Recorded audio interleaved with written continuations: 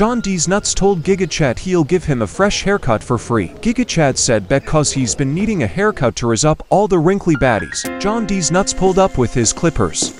And as he was fixing up GigaChad's hairline he sneezed. GigaChad attacked John D's Nuts angrily. John D's Nuts said bro, if you wanna fight let's take it to the wrestling ring. GigaChad said bet bitch. And they brought it to the ring.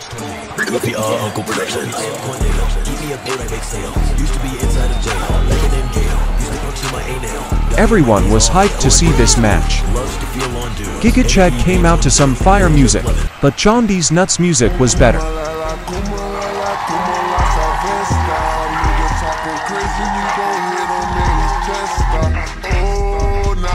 GigaChad said fuck your music and the match started.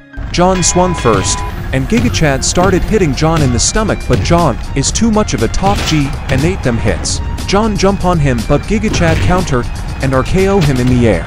John slammed Giga Chad, and then hit Giga Chad from the back. Hey yo, what the fuck? then slammed him again. John was gonna use a metal chair lit on fire but Giga Chad beat the fuck out of him. Then the referee said this. Giga Chad, you a bitch. You never gonna win this match. Giga Chad punched him how his father used to hit him as a kid, but then the ref flung Giga Chad onto a pit of fire.